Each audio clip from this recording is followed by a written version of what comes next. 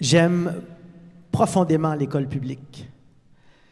J'aime profondément l'enseignement des arts et de la musique dans les écoles. Ce qu'il aurait fallu ce soir, c'est que la personne ici au lutrin ait des doutes, ait des réserves et ait un certain pouvoir pour que, à force d'exemples, à force de regarder et d'entendre ce que les étudiants vont interpréter ce soir, ils comprennent la pertinence et la nécessité qu'il y ait des arts et de la musique dans les écoles.